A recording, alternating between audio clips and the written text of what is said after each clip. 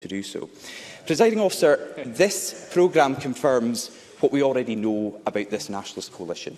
That it's a government that is being drawn away from the priorities of working for Scotland, drawn away from the priorities eh, that really matter to people.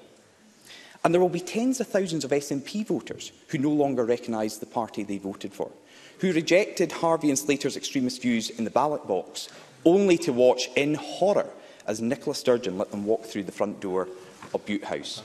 We cannot support this programme because it puts another referendum ahead of our recovery from the pandemic.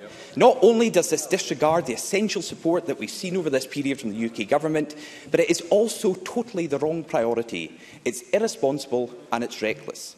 The fact that this government cannot park its obsession when faced with countless problems facing Scotland today tells us everything we need to know about Nicola Sturgeon and her priorities. When our NHS is on the brink of a fresh winter crisis and our economic recovery hangs in the balance, The SNP and the Greens would prefer to waste taxpayers' money on preparing for a second independence